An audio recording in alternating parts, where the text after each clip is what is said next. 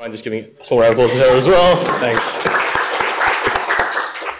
All right. Um, so this is the last session of the day, and to me, it's actually the most exciting. Um, this is where you guys get to ask all the questions you've ever wanted um, to various clinician scientists at various stages of their career from various clinical and research disciplines.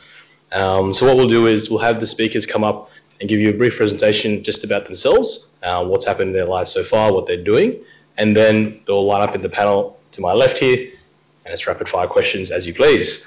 So to begin, um, I'd like to uh, introduce Professor Tri Phan. Um, so Tri is an Associate Professor of Medicine at the University of New South Wales and head of the intravital Microscopy Laboratory at the Garvan Institute. He graduated from medicine at the University of Sydney and completed a double fellowship in internal medicine and pathology at the Royal Prince Alfred Hospital in Camperdown. His PhD was at the Centenary Institute and his postdoctoral studies are with Professor Jason Cyster at the Howard Hughes Medical Institute in California, San Francisco. His current lab combines in vivo optical marking, single cell transcriptomics, and CRISPR-Cas9 technologies to track the origin and fate of cells critical to the immune responses in infection, autoimmunity, and cancer. And he was a 2014 ANSTO Eureka Prize winner. Please join me in welcoming Professor Tri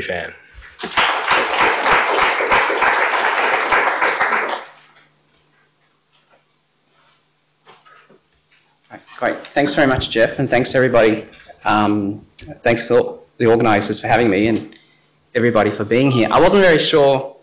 I've never done anything like this before, so I thought I'd try and have some fun. And I guess that's really going to be my message for you guys looking forward. I think the key thing with everything that you do is question yourself: Are you having fun? And if you're not, think about changing what you do. So, so this really is, you know, about having fun, and for me, it's about how I got to live out my sci-fi fantasies. So, um, I think Jeff mentioned I started my clinical training um, at Royal Prince Alfred Hospital, where I trained in clinical immunology. And really, the problem for me was I realised that, that, as I started um, practicing, that we were really bad at treating B cell diseases, and so that made me want to pursue um, further um, studies and basically try and understand how B cells work and understand more about how B cells make this really critical cell fate decision, which it switches from being a very small resting naive B cell to an actively secreting plasma cell that's making all these antibodies. So I did my PhD at the Centenary where we tried to study um, B cell um, cell fate decision making in a mouse model and really what we wanted to do then is to be able to visualize, to see these B cell decisions being made in real time. And at the time, some new technologies that were emerging in the United States where they were able to do this thing called two-photon microscopy where they could see live cells inside a living animal um, and see it make these cell fate decisions. So I went and did my postdoc there. And so what's happened since is I've come back to Sydney. I've set up a lab at the Garvan Institute, um, and also I have a clinic next door at St Vincent's Hospital. And I think um, this is a really critical um, interaction because what I see in the clinic really feeds what I do in the lab. And then what I do in the lab, then I can then take back and help my patients in the clinic. And I'll try and show you a couple of examples of that. So, you know, what makes me different? I guess um, you probably would have heard from a lot of clinician scientists that there are all these advantages. You know, you can seamlessly transition from the bench to the bedside and back. You can fast track the translation of um, your basic science to, to the clinic. Um, and you have this fantastic network with which to access patients and samples. But to me, really, the biggest advantage, I guess, from my background and my training has been that as a clinician, you get to have this big picture and you get to see things in a clinical context. And that's really important because, you know, there's this question that um, when I was training, um, my supervisor, mentor, used to always ask me at the end of everything I said, which was, so what? Why should we care? And I think being a clinician really helps you frame that. Um, and so how we see things is, is that um, we try to see things in a global context. You know, the, the body is a complex multicellular organism, and all these cell fate decisions are being made in response to environmental stimuli. So for us, that means we need to see things within space and time, but also within the um, whole organism. And that really is going to then help us understand how these decisions give rise to problems with immunity, autoimmunity, and cancer. So um, in our lab, what we do is the first thing for us that's really important is that we need to see what's going on. So for, and that means we use two-photon microscopy to see biology in action in a real live animal.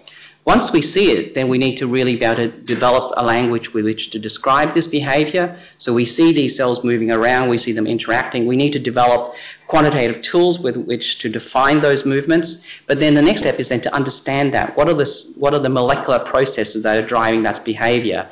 And for us, the go-to technique has been to use um, single-cell RNA sequencing uh, to understand the heterogeneity within that these cells and, and how that gives rise to the differences that we're seeing. And once we think we understand it, then we need to test our understanding. So we then go on to develop uh, mouse models in which we've modified the um, expression of genes, um, mostly within mice. Um, so we test and retest, and for us the most important step is this final step here where we get to apply our understanding to diagnose and treat human diseases. And I'll, I'll um, touch on something that I'm very excited about, which is this Clinical Immunogenomics uh, Research Consortium Australasia, or CIRCA, that I've been involved with. So how does all this make me um, uh, a better scientist? Well, I'll just touch on one example of this. And, and so we've known for a long time this concept of immunity since, you know, the description of the plague of Athens Athens in 430 that people once infected with something will either not get it again or if they get it again, it won't be as severe. And it, this immunity actually um, underpins the success of vaccines. And all vaccines so far, the, the successful ones, have worked through the generation of humoral immunity. In other words, through the generation of memory B cells and long-lived plasma cells. But we don't, what we don't understand is how the memory B cells protect us. How do they become the plasma cells that make antibodies that protect us upon re-exposure. And then if we understand that, then we can make better vaccines. Um, uh, and this is particularly important um, with the threat of all these emerging um, diseases. And then if you just think about it, the flu vaccine, you have to have a flu vaccine every year. What if we can make a universal flu vaccine so they just have to have one shot um, and that would cover you um, from one year to the next? So, you know, for us, to be able to see these things, that means that we need to make fluorescent reporters. So what I'm showing you here is a movie that my PhD generated, where we looked at the decisions that are made by a memory B cell in a live animal. And these memory B cells are, are green, I'm sorry, are red, and when they become plasma cells, they turn on a gene that makes them green as well. So the orange cells, so the, so the green and red cells, are the plasma cells. And so these studies, what they showed was that in, in an animal, in the draining lymph node, the immunity is actually provided by these plasma cells that are differentiating in this new structure we discovered called the subcapsular foci. Now, the reason why this is important was that this was only seen in a mouse, in an animal. And so the question is, so what?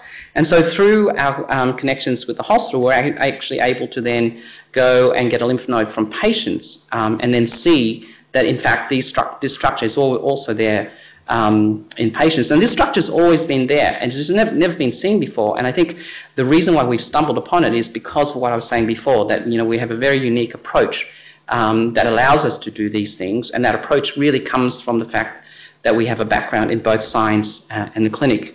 And so what about the other way around? So um, I'm just going to tell you about this patient that I was referred um, from a number of other um, specialists 51 year old man, HIV negative with classical Kaposi sarcoma. So this is a cancer that's seen in HIV patients because of waning immunity. And so there's a suggestion that if you have Kaposi sarcoma, you may have an underlying immunodeficiency. And so through our connections and through our um, basic science um, uh, collaborations, we were able to, to work out that the blood of this patient was very unusual and atypical for, and based on that, we were able to then go on and sequence the genome and found that he had a variant in a, in a gene called CTLA4. Now, this variant had never been described before, so we weren't entirely clear whether this variant was causing his disease. And what was complicating it was that patients with mutations in CTLA4 have a classic syndrome called CHAI and he doesn't have a lot of the features of the CHAI syndrome. So what we were then able to do was do functional studies, but also RNA sequencing, which then established truly that this was a pathogenic variant. Um, the significance of this for him was that, you know, for all his adult life, he'd been ostracized um, and labeled as a malingerer. And so we were able to end his diagnostic odyssey, give him an actual biological basis for his disease, but more importantly, his cancer had relapsed despite salvage chemotherapy. And because we had a genetic diagnosis, we were able to start him on a mechanism-specific, gene-specific treatment, and which was to um, uh, this drug um, called everolimus. Um, and he's responding now really well to the treatment. Um, so uh, that was through collaborations um, with this um, Circa network. So I guess my main message to you is that, um, well, have a lot of fun, really, and, and, and I think you'll be able to help a lot of people um, if you pursue a career in both. That's all I have to say.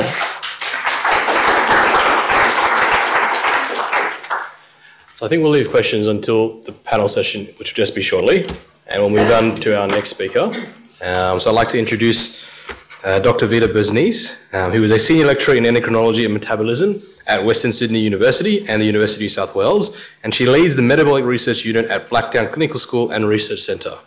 Over the last 10 years, her research has focused on determining how fat and protein, metabolism, body composition, and physical function is regulated by hormones, with the goal being to establish a link between fundamental research and clinical application. For example, developing a novel safe treatment for sarcopenia.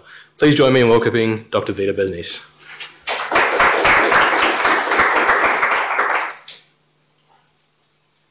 Thank you so much, and thank you for inviting me. So, I have a title Surviving as a Clinical Researcher, and sometimes we really feel that we have to survive as researchers.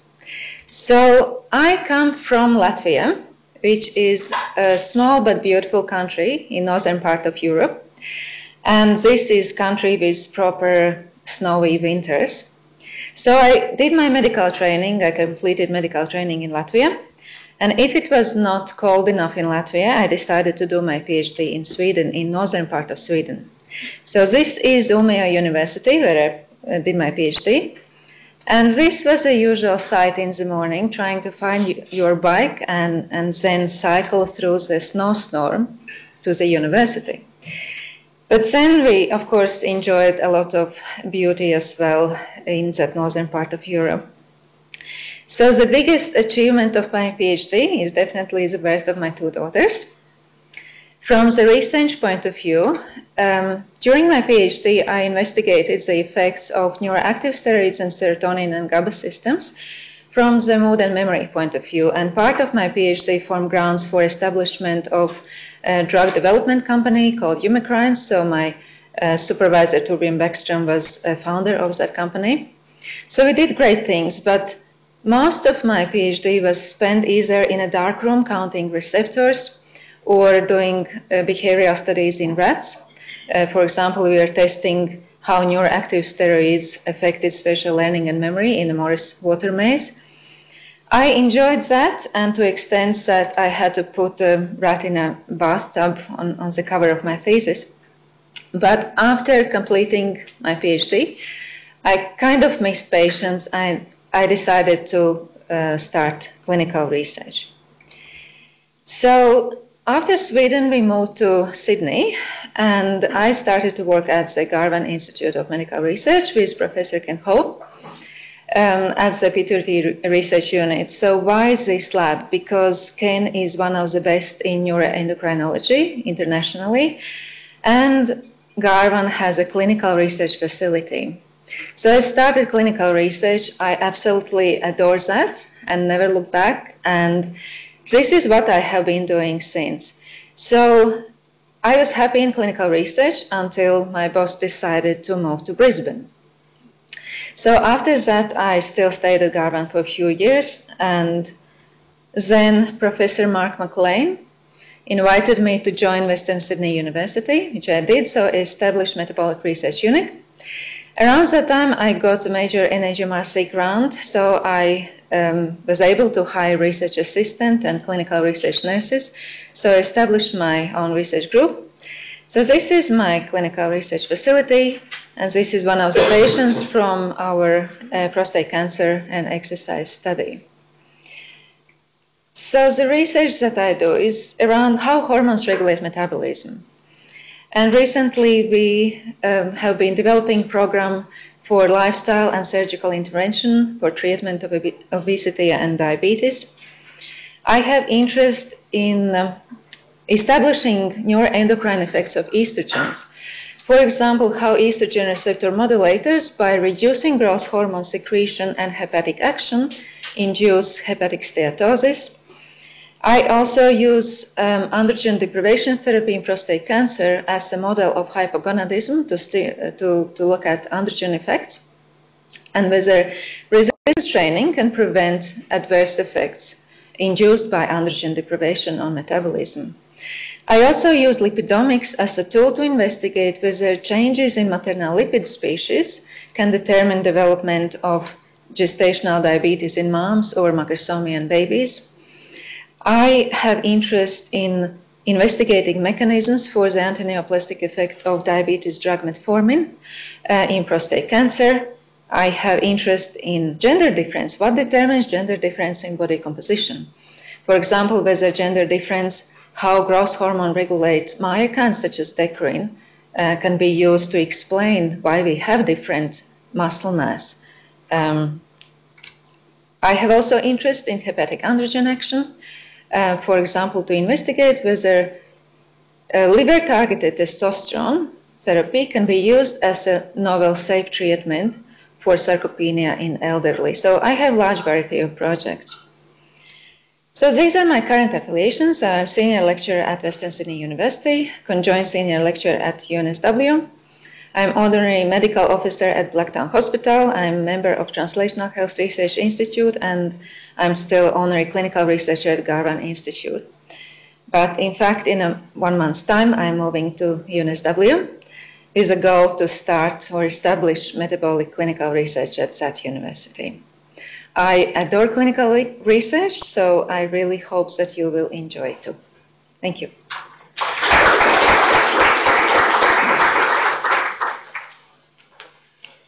Thank you, Dr. Bernice. Um, I'd like to introduce our next speaker, Dr. Vincent Ho, who is a consultant gastroenterologist at Campbelltown Hospital and leads the Translational Gastroenterology Research Program at the Western Sydney University School of Medicine, focusing on basic science and clinical research in the gut. His clinical research focuses on looking at the use of new medications to improve gut motility and innovative treatments, including electrical stimulation for rare disorders such as gastroparesis. And his basic science research involves the isolation and development of interstitial cells of Cajal and intestinal organoids. Please welcome Dr. Vincent Ho.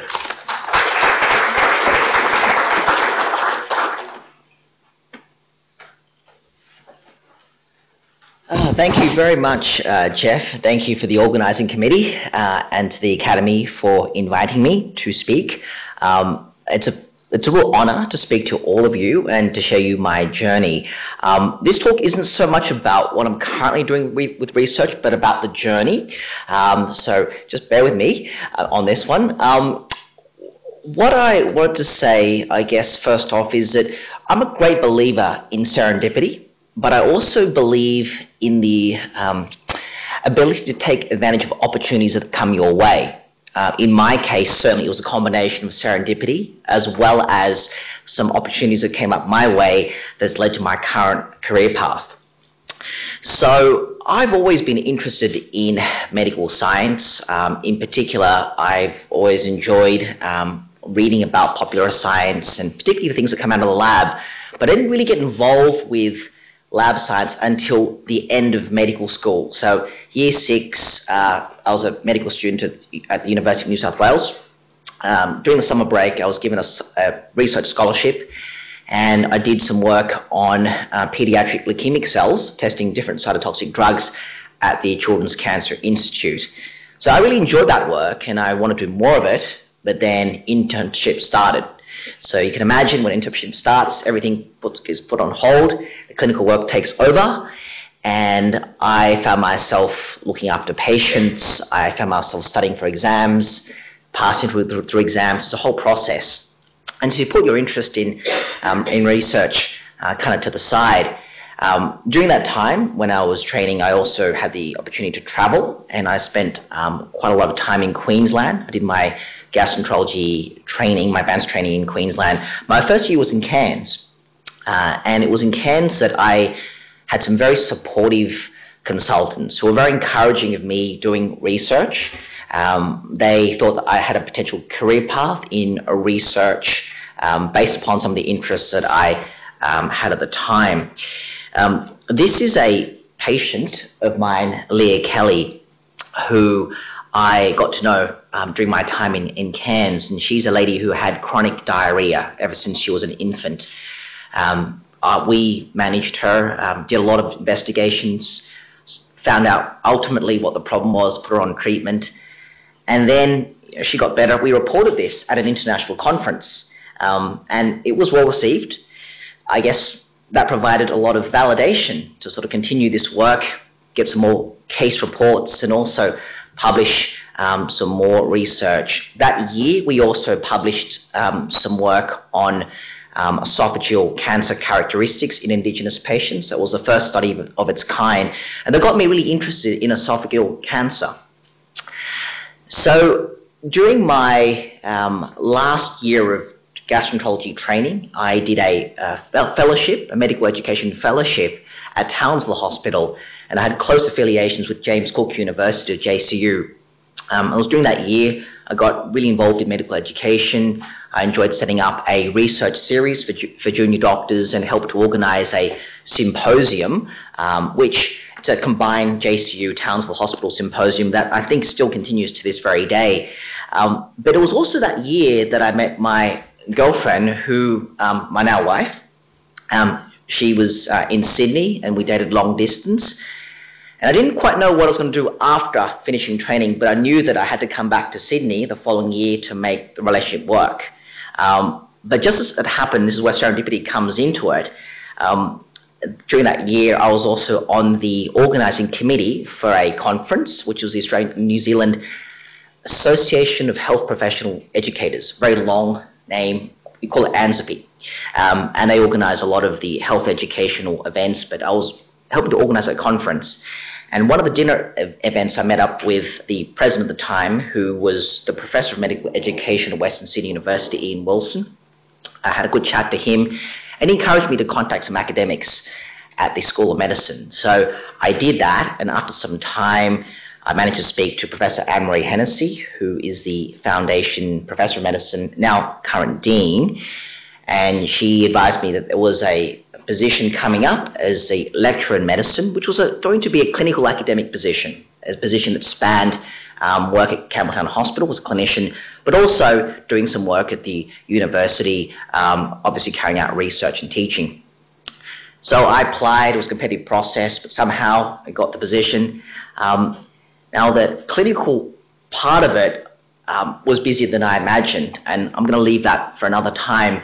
Um, but uh, one of the things that I got earlier on, and I was very lucky to get this, was some lab space. You can see our laboratory here.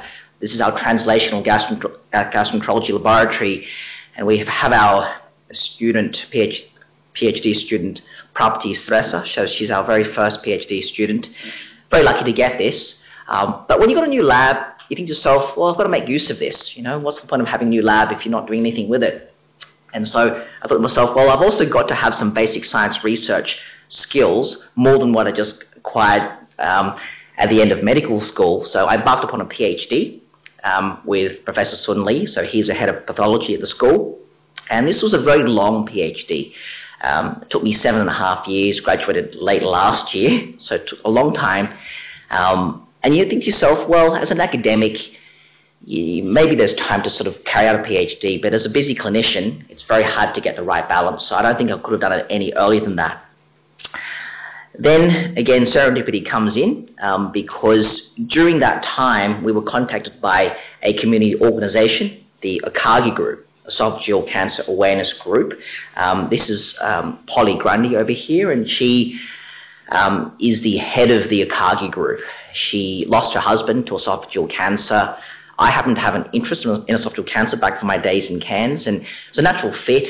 Um, we carried out some work uh, with her support on the esophage- esophageal microbiome, uh, looking at um, Barrett's esophagus and esophageal cancer, um, and she's remained a, a very valuable um, support. You know, she's been instrumental in providing us um, support financially and also through community awareness um, to this present day. Also, during my um, second year of starting as a consultant, I came across this lovely lady um, over here. It's Ashi Alum.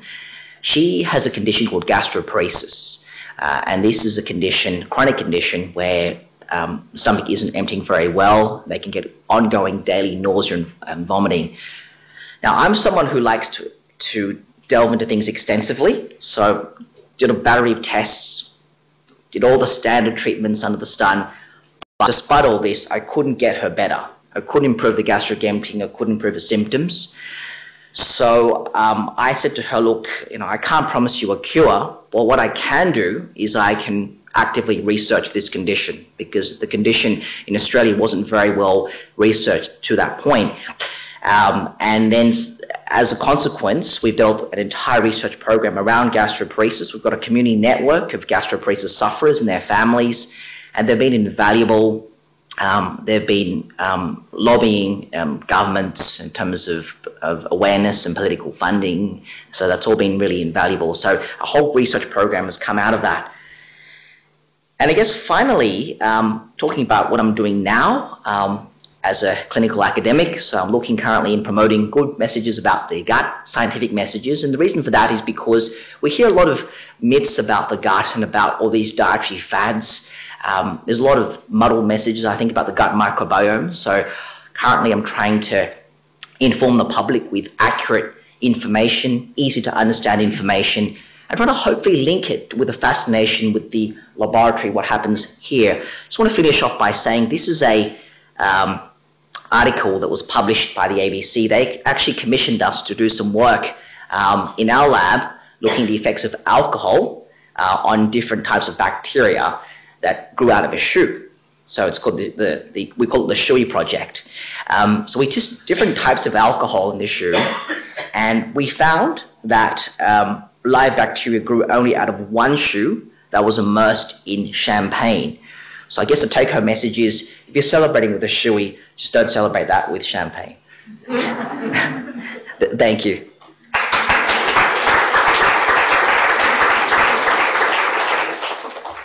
Thank you, Dr. Ho. Uh, it's my pleasure to now introduce our next speaker, uh, Dr. Martha Chehade, who is a Royal Australasian College of Surgeons General Surgical Registrar within the Western Sydney Surgical Network, who has interrupted her clinical training after four years to pursue a PhD.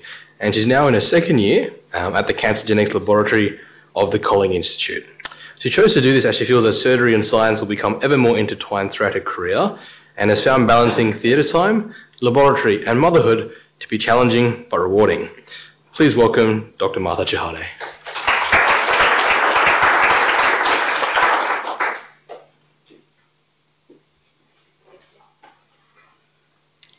Uh, thanks, everyone. First of all, I want to say thank you, of course, to the Academy for inviting me to be a part of the panel. And also, I want to say that I feel very humbled to be asked to be a part of this panel because I'm overwhelmed by the wealth of knowledge and experience that I've heard about from the speakers so far. So, thank you for sharing that. Um, I have one slide because my journey is so far at the beginning, basically. I'm at the inception. But I'll tell you a little bit about how I got here. Um, to start off with, I uh, had I did Bachelor of Medical Sciences at Sydney University. Then I went on and um, did the MBBS program through Sydney Uni as well. Did my internship, residency. Always knew I wanted to become a surgeon. In fact, in the holiday period between um, the end of medical school and the beginning of internship, rather than you know, having a little bit of time to enjoy myself, I immersed myself in a project um, doing prosection basically and contributing a anatomical prosection to the Sydney University Anatomy Lab. So as I um, had gone through internship and residency, I was asking questions about, all right, here we are, clinical practice guidelines, this is the best evidence, this is obviously what we want to do for our patients, but where did all this come from? And how good is the research? How robust are these findings? And then when I uh, got onto the surgical training program, studied for the part ones, these were the sort of questions that were also cropping up as I was coming through um, doing my study. As part of surgical training, we have a requirement to do a research project. And uh, one thing that I found quite frustrating was that you couldn't really do a serious scientific research project while you were being seconded off to a different place every six months to be on a one in four on call roster, realistically. So um, I got through that, but at the end of four years, I decided that I really did want to spend some serious time doing research. And I got in touch with a surgeon, a, a clinician scientist who I knew from my work at Coffs Harbour Hospital. And uh, you may know him, some of you. He's Professor Stanley Sidhu. He's a surgeon scientist here. And I asked if he had a PhD project that uh, that, um, that he could give me in his lab. And he did. He had one on adrenocortical cancer, which is an orphan disease, um, very poor prognosis. But what's interesting is that some patients with this disease do really well. And some, most patients actually do very poorly. And um, what I was given was a task to have a look at the gene signatures of long non-coding RNAs that are expressed in uh, clinician uh, clinical samples of uh, different patients with these cancers. And now I'm looking at the function of one of these long non-coding RNAs. And through my journey, I've been given the opportunity to uh, do CRISPR-Cas9 experiments, gene editing, and I've, um, you know, although they're very exciting, you also get that real challenge of working with uh, problems like off-target effects and them just not working very well. But that's the ups and downs of PhD life. Um, this is just a snapshot of my life so far. Uh, up here, this was the, last theatre list I did in my pregnancy, eight months pregnant. So I still assist in theatre. Uh, this is me working in the lab in the dead of night because that's when you can. Uh, this is my desk. It looks awful. Um, this is my baby, who I had eight months ago uh, in this journey. And um, just like you said, Um, that's probably been so far the biggest achievement of my PhD. And I'm finding uh, that is also the most challenging part of keeping the balance. This is her waking up in the morning when I wasn't there. This is her going to sleep at night when I wasn't there. This is her being taken on a walk when I wasn't there. This is when I've had to bring her into the uh, lab so that I could get work done with her there. so um, I'm hoping that uh, you know all of the trials and tribulations and um, the investment that I've asked other people to make in my journey because it's not just about me, it's everyone else around me who's also making sacrifices to see me through. I'm hoping that this will all be worth it in the end, and I think it will be because so far I've already seen the benefits of, um, of going, embarking on this uh, research journey. So um, that's what I have to say. Thank you.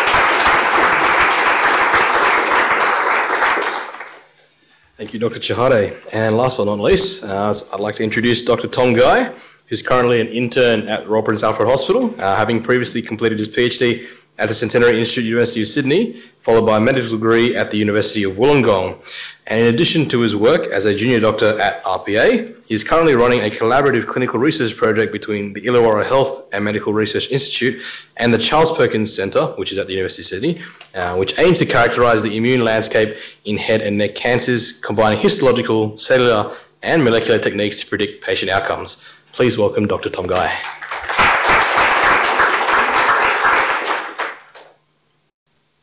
Right. So, uh, thank you, Jeff. Uh, thank you, everyone, for uh, the opportunity to speak today. And it's also just been uh, wonderful to hear so many inspiring stories from other clinician scientists and uh, their journeys. So, I'm Tom. I'm currently an intern at RPA Hospital, um, which mainly means that I chart fluids and write on wows around the ward. Um, but when I'm not doing that, I'm also a research fellow at the Charles Perkins Centre. Um, I guess my background uh, is a bit different from other people here in that um, I actually started off wanting to be um, predominantly a scientist and did an honours uh, year in PhD with Professor Barbara Fazekas at the Centenary Institute, uh, which is all about cancer immunotherapy. Um, as I got towards the end of that, of my PhD, I really wanted to understand more about the clinical context of the work that I was doing. So I uh, decided to uh, think, thought about doing medicine. I ended up meeting a professor from Wollongong University named Ronald Sluyter at a conference, and he really suggested that I should come to Wollongong to do my medical degree. Um, he was very supportive at that time, and he really facilitated, facilitated me being a clinician scientist, and I was able to help lecture in immunology and teach other honours and PhD students while I was there, and supported me to um, seek funding when I didn't think that I would actually be able to get it. And so, some of the funding that I was able to get from the Illawarra Health and Medical Research Institute helped me to do some of the research that I'm currently ongoing, uh, that I'm doing now. Um, and also helped fund uh, me going over to Boston for the last three months of my medical degree. So I spent the last three months over at Harvard Medical School and got to do clinics at Mass Gen Hospital, which was an incredibly fun and uh, exciting experience. pretty much, but that area of Boston is pretty much like Disneyland for anyone that wants to be a clinician researcher. Um, and I'm now a JMO. So just to give you a bit of an idea about uh, my PhD work, which is really what um, set me to, to do the work I'm trying to do now, um, is that I got very interested in how the adaptive immune system is involved in cancer predominantly. And this is a mouse model that I made, um, or some data from, uh, from the mouse model that I made. And essentially what we're able to do is we look at the adaptive immune system in mice that had melanoma. Um, and by bleeding these mice on day 40 and then also looking at the immune cells within their um, blood at this time, what we essentially were able to do was to find a biological sort of number whereby if you had more than 6% of your T cells were specific for your tumour at day 40, then that would guarantee that you would clear your tumour, and that if you didn't have that, if you were just below that line, then you would succumb to your tumour. Um, what was interesting about this is when we look at the blood on day 40 and then compare that to the blood on the day of death for each mouse, and then we compare that to then what we see in the lymph node, the spleen, and the tumour, this all correlated very nicely. And this was true for the T cells in these experiments, the B cells in these experiments, and also some of the regulatory immune uh, components as well. So what's really found, really sort of, I guess, established to me was a real interest in analysing the adaptive immune system in the blood of both mice and our patients, and trying to understand chronic uh, diseases that involve the immune system. Um, coming from a very basic research side of things and now coming into the clinical world, one of the things I really find quite interesting is that from the immune system point of view, it pretty much is involved in most medical specialties. But when it comes to how clinical research is done today, it's all very much based on clinical departments. So we take one cohort of patients from one with one disease, do one technique on them. Usually that material is consumed by that uh, series of testing, and then it's compared to healthy um, individuals. Whether or not some of these things that we're finding in the adaptive immune system are true for a number of diseases, or whether or not we actually find some uh, bona fide, complete, unique, um, mechanistic uh, uh, components for them is really unclear. So I think the future work that I'd like to do over the next 30 or 40 years is really trying to compare a number of chronic inflammatory diseases that involve the adaptive immune system. So comparing uh, different types of cancer, autoimmune diseases, and chronic infections to try and find some new mechanisms, work out which ones are unique to specific diseases, and then find new treatments for them.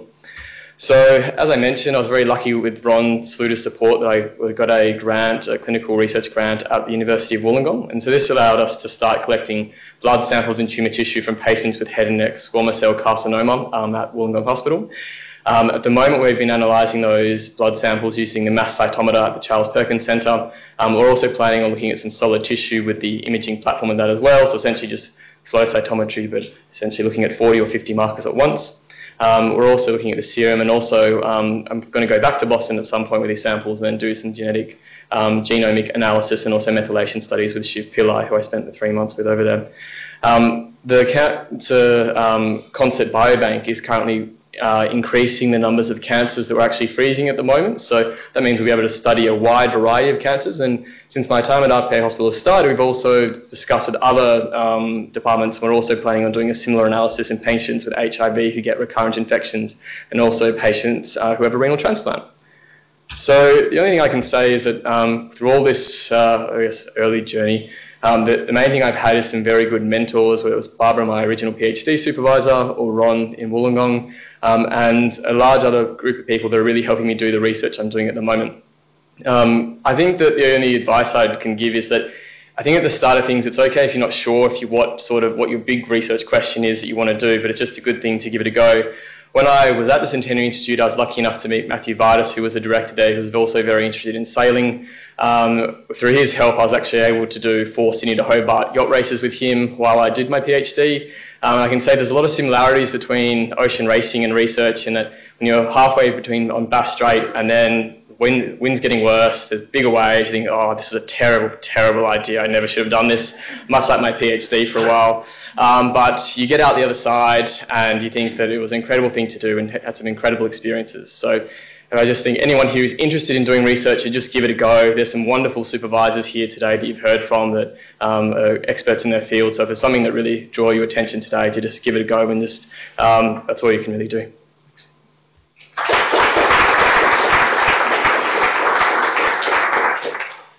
Thank you, Dr. Guy. Um, so I'd now like to invite um, all of our panel speakers to come up to the seats at the front. Um, and Kurt will kindly be having the roaming microphone for you guys to ask questions. And we've got one microphone for you guys as well.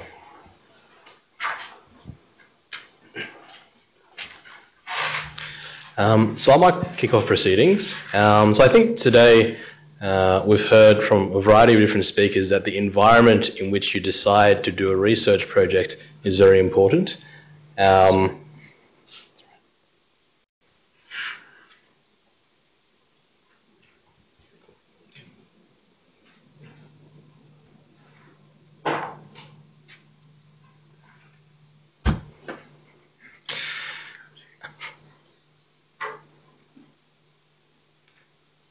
And with the environment of your research project being quite important, um, the question that I had was, have you guys found yourself in a situation whereby you've been in a not quite so suitable environment for your research? And how have you gone about extricating yourself from that environment? Tough question, but I think it's good to start there. Well, now I'm moving to University New South Wales, so I'm changing my environment. Not that it was bad before, but I felt that I have exhausted myself from the point of view where I can grow. So I felt that I established everything what I could establish at Western Sydney University. And for me to grow, I had to find other path for my research. And was that an, was it an active pursuit of yours, or was that, that kind of something that kind of came to you? How did that come? How did that happen? Well, um, at Western Sydney University, my position was predominantly a research position, but that was re- the reason why university would not have extensive amount of salary support. So initially, I had five years salary support, and then I had one and a half years. So then, you're trying to think if you would like to succeed in research, you, you kind of need stability, at least from your salary point of view, because I could sustain my research, I could get smaller or larger research funding. But then, if your salary is under the questions, then you kind of think, what next? Sure. Okay. Did any of the uh, panel speakers have any comments about that question regarding the environment of your research? Yep. So um, I kind of alluded to this earlier, but um, if you are a clinical academic and you've got a busy clinical load, then it can be quite challenging to get research done. Um, I mean, I I have a, quite a busy clinical load. Um, I'm a gastroenterologist, um, but I do one in four on call. And if you, if you know gastroenterology, it's quite intense. You've got some really sick patients in. Um, one on four on call is, is, is tough. Um, but then you've also got to combine that with doing clinics as well as uh, endoscopy lists. And you can quickly see that you don't have that much time to do research. Again, um, trying to factor in research around that is important. I, I think that generally, as a as a clinical academic, if if I've come, a patient comes in with a with an emergency, I'll just drop the research to, to address that problem. Like if it's a variceal bleed, I'm on call. I've got to do it. Like there's just no no other way. So that has in many ways hampered my um, PhD. It's why I took in, in many ways why I took so long, seven and a half years. Um, but at the same time, reflecting upon it, even though it's very intense, um, it's still quite rewarding because you can see at the end of the day how your research could directly influence um, patient management and vice versa. I want to ask um, a follow-up question then. Um, so, for the members of the panel who have quite a bit of procedural aspects in their clinical work, um, aside from clinics, which as an outpatient or clinics and then inpatient care. Another aspect of your work for those who are proceduralists in actually doing the procedure, getting your case hours up, getting familiar, getting that muscle memory. So for both Dr. Chehade as well as Dr. Ho, that managing that extra component, um, how have you found that? Okay. So, look, I'm fortunate in that um, I gained a lot of endoscopy experience um, during my training. So when I started uh, as a consultant, so I started as a clinical academic, um, I'm, I'm, already qualified um, with a lot of procedures behind my belt. Having said that, obviously um, you're, you're still evolving as a junior consultant. You're coming in with difficult cases. And so there's always that evolution um, of your well, it's not just cognitive memory, but procedural memory, procedural experience. The, I think the most difficult part of being a clinical academic and, and a proceduralist is the is the on call. Um, the fact that you could have, in my case, a bleeder or a food bolus, and you would have to drop everything. I mean, it could happen during the daytime. You could be on after hours. At my hospital, we've got one advanced trainee, which means that they can cover during daytime from about say eight till five. But after hours, we can't expect the trainee to be on call all the time. So therefore, we get direct calls from emergency. That's tough. That's that happens after hours also on the weekend. So it's common in a week that I'm on to, to go to hospital a couple of times, maybe two or three times to, um, to do emergency cases. Thank you.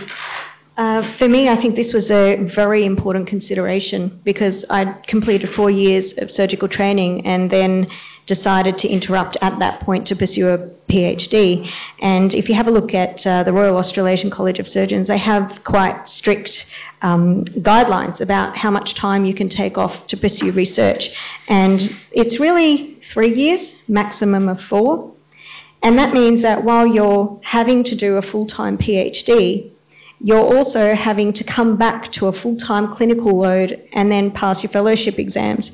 So there's a long period of time relatively in your training where you're not necessarily um, ass- assessing acutely unwell patients. You're not necessarily doing the high-risk trauma laparotomies and the sort of operations that you don't want to lose muscle memory in. Um, it's a very good question. So for me, it became a question of timing. When is it optimal to interrupt? Is it in the middle of training or is it after your fellowship? And I decided that for me, I was going to interrupt during training because I had the opportunity to then work up my skills again when I was reintroduced to the training program. But in this time, I still assist, as you see, and that means that that's time that's competing with the time I can spend in the lab. So on the days that I have full day operating lists, I come in in the evening to the lab to make up for um, the, the time I need to spend experimenting. And it all just comes down to a question of balance and whether you think that that sacrifice is going to be worth it. For the two um, clinicians on the panel whose clinical disciplines uh, traditionally have more relations with the laboratory, meaning endocrinology as well as immunology, do you find that maintaining a clinical aspect to your work gives you an edge that pure scientists do not have, and do you find that to be a benefit, or do you find it to perhaps be more of a burden? We might ask Prof. Prof uh, Phan for some input first. Um, it's a loaded question. Um, so, so look, I, I, I, think I might just backtrack a little bit. And I remember when I started out um, wanting to do a PhD, I was told by um, Professor Tony Basten that now he thought that wasn't possible to be a really, really good doctor and a really, really good scientist at the same time. So that was about 20 or 30 years ago. Um, and I have to say, I think that's changed a lot since then because back then, I think, you know, you know, to be a really, really good cutting edge scientist, you really have to be on top of the game and you have to be fully immersed in what you were doing. And, and as you say, I think it is a little bit easier for some specialties like um, immunology, hematology, endocrinology, because I think now the practice of medicine is changing. Um, you know, we're sort of now in a post-genomic era. I know genomics has promised a lot, but particularly for the practice that I do, which is looking after patients with adult immunodeficiency diseases, um, we're finding the genes all the time now. And the problem is that as we sequence the genome and we find the genes, um, we're finding variants that haven't been described before, which means that we have to prove that those variants are actually pathogenic. So being a scientist allows you to bridge that gap very quickly. And, and in fact, we now have multidisciplinary teams that meet once a month. Well, we not, don't just have doctors in the room, but scientists in the room as well. So, you know, I'd go back to what I was told 20 or 30 years ago and say that while 20, 30 years ago it may have been very difficult to be a scientist, and a doctor at the same time. I think now it's probably critical that we're scientists and doctors at the same time. And then moving forward, I kind of, you know, I'm sort of was humbled a few um, weeks or months ago. There was a report where these people had gone through 1.3 billion electronic uh, health records in China and taught a machine to make a diagnosis just as well, actually better than the pediatricians. So, you know, you need to reflect on where the future of medicine is going to be and how the practice of medicine will play out in the years to come. Um, and I think being, you know, really, not, not, I mean, not hardcore, but being really comfortable with the language of science and being able to pass, you know, there's a lot of rubbish being published, for example, but, you know, I think that's probably one of the best things to get from doing a PhD is that ability to think critically and ability to recognize rubbish um, and fads. Um, and, and so, you know, and then back, well, sorry, I'm talking a lot, but I need to get it out. Well, one more thing, I guess, is for a lot of you guys starting out thinking about doing a PhD, I think you need to ask yourself why you're doing it. Um, I think I, I, I, see a lot of people who've plunged into a PhDs for what I think are not the best reasons. They do it because their boss thinks that, you know, they think their boss wants them to do it and they'll get them a job in a hospital you know, I, think what you really need to do is find out what you're really passionate about, what you really want to do.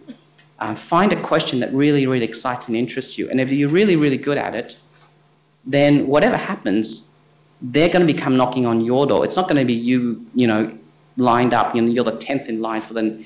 You've got to wait for ten consultants to die at the hospital before you get a job, right? You know, you're going to be the you're, you're going to be the person that ten hospitals in Australia or around the world are going to be knocking on the door saying, please come and work with us. You know, I, I think it should be the, the other way around. And you should really, really find some, a really, really good reason to do a PhD. And then you won't find yourself in situations where you're doing something with a supervisor you don't like, a project that you don't really like.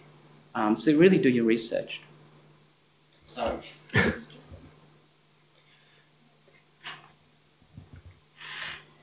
I'm in fact not doing clinic, clinics anymore.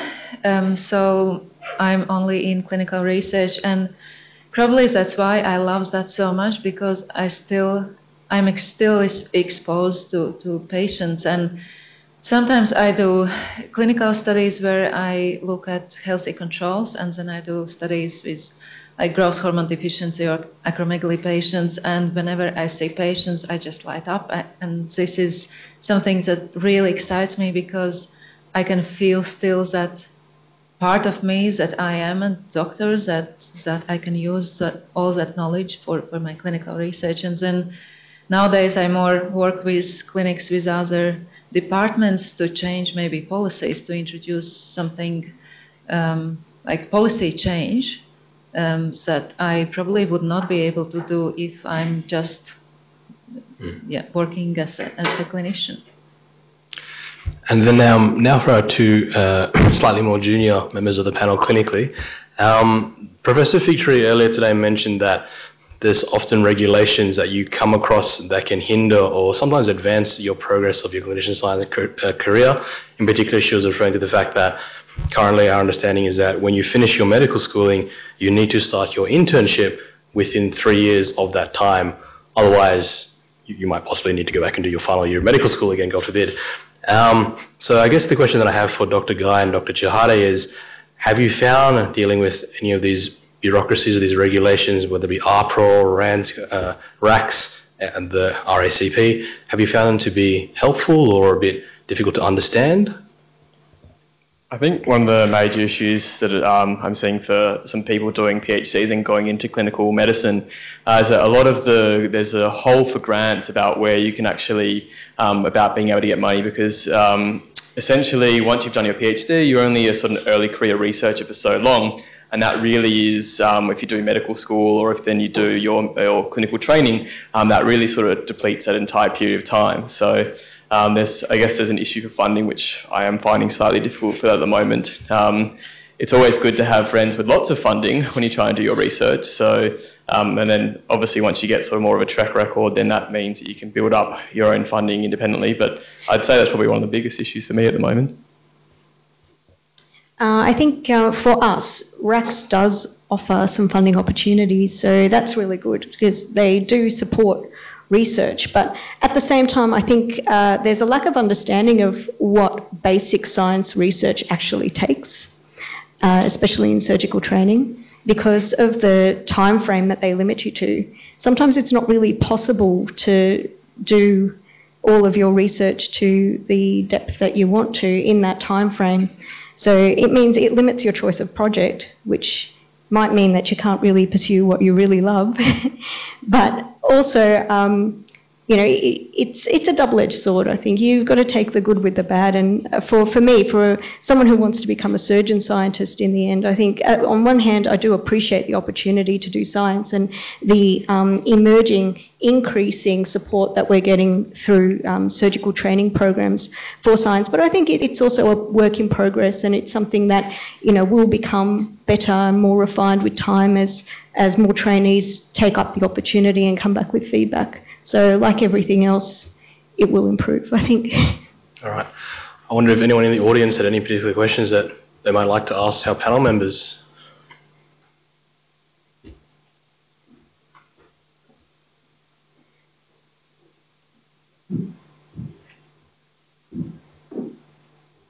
Thank you. So this is more for the um, the female members of the, the board. With regards is, to sorry, is, is that turned on? Hello? Okay, sorry. Um, so with the um, this is more towards the female members of the board. With regards to having children, you guys both said that it was the most worthwhile part of your PhD. Um, if you were to do it again, would you choose to do this like earlier, later, or like like it's the best part because yeah. No, I wouldn't change in any other way. I think that was really perfect for me. But I did that in Sweden, so it's a little bit different. Social security system is different in Sweden. So um, we got almost one year of full salary, and also we don't have stipend in, in Sweden, so it's full salary, and, and we pay tax for that for PhD salary. So then you get full year. You can stay at home with your kid, um, and then during that time you still can write papers and, and do publications and all that. So I think for me it was perfect.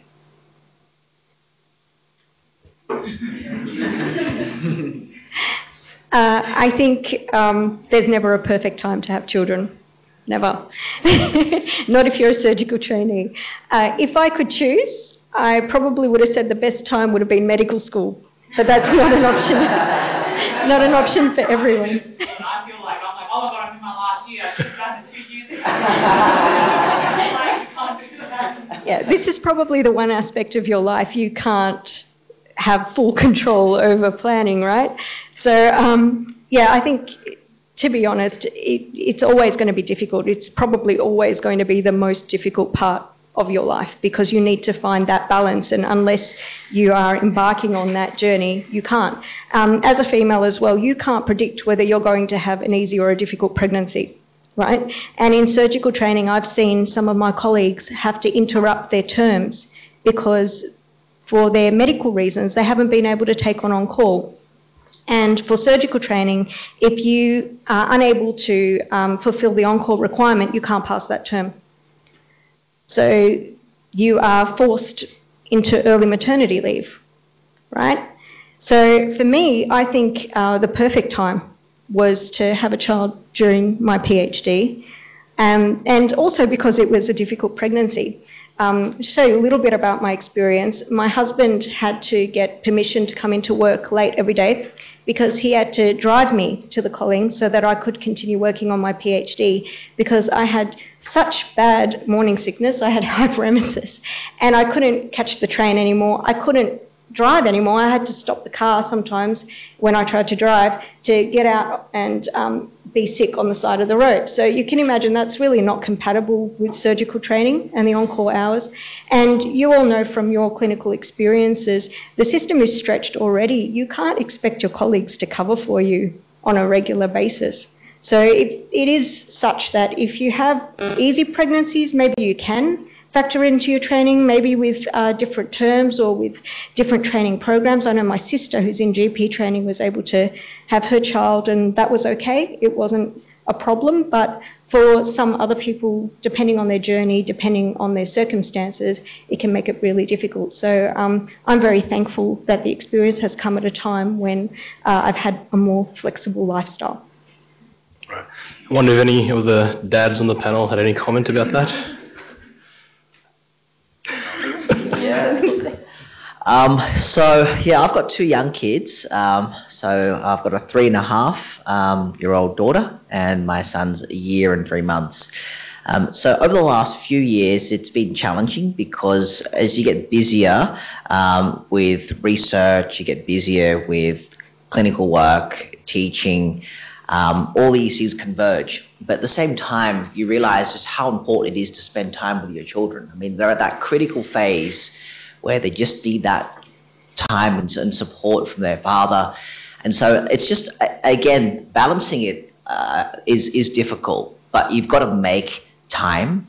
So I would, and I'm sure many of us have done this, I would go home um, after a busy day, spend time with the kids, um, wait till they're asleep, and then afterwards I would do my work. And I might go till very late, like midnight. I, I, I'm basically a night owl. Um, and uh, yeah, it would go till late, but at least then you can spend your time with your with your family, finish your work. And I guess as the kids get older, um, it, it, there's not the necessity to spend as much time, but it's but again, it's it's about providing that quality with your family, quality time with family. I just think it's I just can't stress how important it is, that, and that you've got to find your own balance. All right. Were there any other questions? Kurt.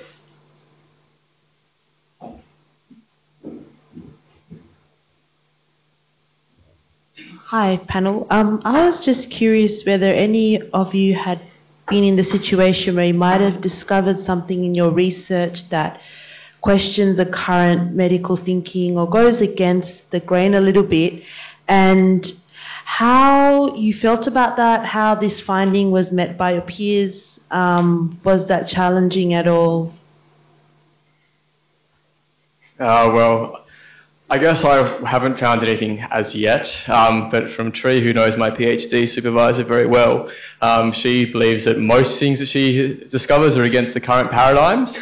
Um, so she's a very well-known immunologist, and I couldn't have found a better supervisor to a PhD with. Um, but I, I, between her and other um, other researchers in the immunology world, they have great arguments about um, you know what the sort of current paradigms are and shifting those.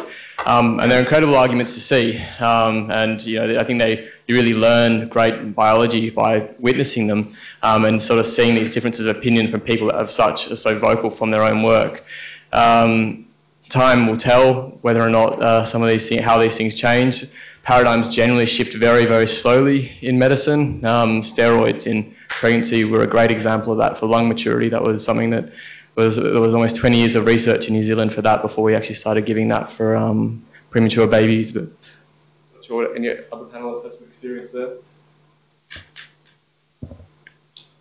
Um, so, so, so, so I, I think it's really interesting because we sort of now live in era in an era where everybody talks about disruptions, right? Disruptive technologies, disruptive ideas, and so shifting paradigms is now. I, I mean, I, I, was kind of, um, you know, every grant that I review now, they're shifting a paradigm. So, so it seems to be, you know, I, I think it's lost a lot of it of its meaning, but but I, get what what you're getting at, um, and I think it's really interesting because w- w- one of the really important things about doing what we do is to realize that actually the evidence that we hold to fast when we make our clinical decisions are actually not sometimes as strong as we think they are. Um, and, and you know, I, I don't want to discourage you now and disillusion you by telling you how horrible peer review is and you, you, know how difficult it is to get your ideas out if it goes completely against the grain. I think what's more important is that you realize that actually, you know, it's not, um, you know, what people hold as true is, is very fluid and you need, and it will change, you know. You know, I, you know, we used to be told, you know, it swings and round, you know, it, it, the pendulum will swing one way, you know, one year and then 10, 20 years later it'll swing back.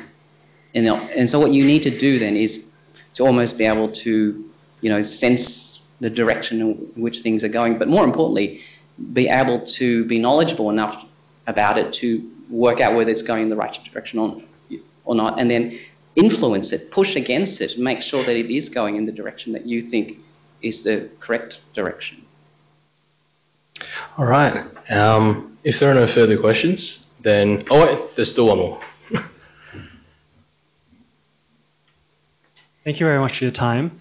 Um, from a research perspective, do you think there's much value or merit undertaking further education through, say, the form of a master's um, to really um, go ahead with some high quality research? Or do you think it's something that you should just get amongst and um, learn on the job? Since I got the mic, I'll probably have a little something to say. Uh, I know in surgical training, a lot of people are pursuing masters in surgery, and Vincent and I were having a chat about that uh, just a little bit before. Um, that definitely, any extra research you could do, anything you could do to further your education is going to stand you in good stead for the future. Definitely. Even if you don't want to pursue um, a career as a clinician scientist, because I agree with what you said, uh, Professor Phan, and that is that the most um, the most valuable tool that you will learn as a result of doing your own research is to appraise the research that's already out there. I can't tell you how skeptical I've become of everything I read as a result of spending some time just at the bench and seeing you know how data is treated, how data can be treated, you know how um, that missing data in your uh, clinical database can affect the results. Um, and you don't really get a true understanding of those things unless you do immerse yourself in research. Um, so, whatever it is that you choose to pursue, um, choose it out of interest because you will need interest to see the end of it, I think. Um, and, uh, and know that whatever you pursue, you will have some benefit from it. I think, anyway. I don't know if you agree. I mean, I think that's a really, really good question because I think where I've seen a lot of clinicians, like brilliant doctors, um, go to ground when go, they go into the lab is they've never picked up a pipette before and you start again from ground zero. There are kids 10 years younger than you who have much more experience and know more than you do and you have to be able to let go of your ego and you know return to ground zero and learn again and i think i think there's a lot of value in doing something like a masters and it's not lost ground because if you, if you really enjoy that masters you can always upgrade it to a phd so there, there are lots of um, but you know that that research experience because you know I think people need to distinguish between a clinical PhD and a basic science PhD. And I have to say that my having done a basic science PhD, my recommendation is to stay to your strengths. If your strength is basic science, then go down a basic science PhD. But really, really think hard about what you're actually trying to do with a basic science PhD. And if it's going to be that, then get into the lab and see what it's like before you actually sign away, you know, three to five years of your life. All right. Um, well, with that, we might bring this session to a close and our conference to a close. So thank you to our speakers once again.